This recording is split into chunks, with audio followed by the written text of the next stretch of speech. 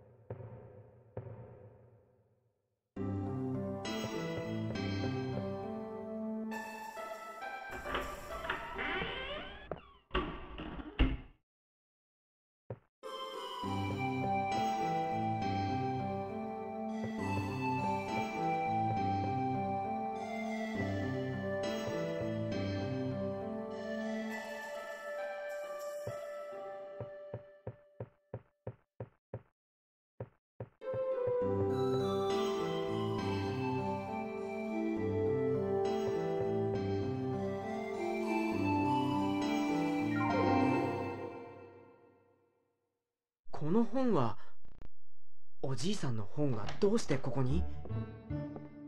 やあ来てたのかい？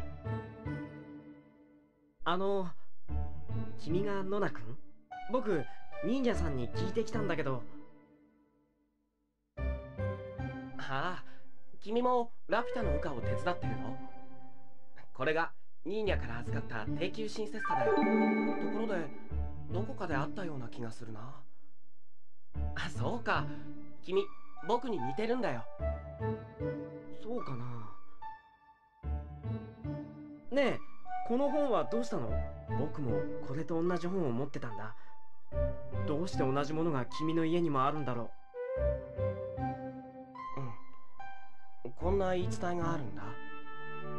このイバラードには表と裏の関係にあるもう一つ別の世界があるっていう僕にそっくりの君といい2冊の本といい。